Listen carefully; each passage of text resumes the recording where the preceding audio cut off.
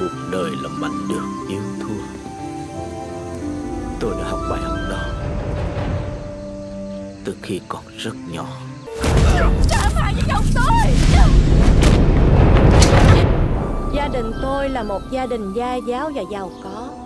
Con Huệ Minh là sinh nhất dùng Vậy mà nó không ưng ai Đi ưng cái thằng Không có tương lai.